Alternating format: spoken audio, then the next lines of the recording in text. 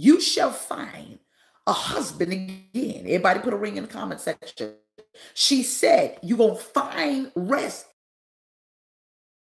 Hear me by way of the Holy Spirit. This is what she said. Then she kissed them goodbye. She kissed them goodbye, and they wept aloud.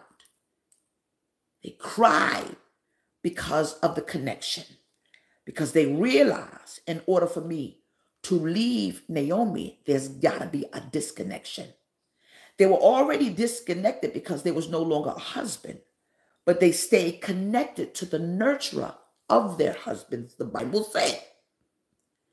She kissed them goodbye, and they wept aloud and said to her, We will go back with you to your people. We, that means the both of them said, We're going back with you.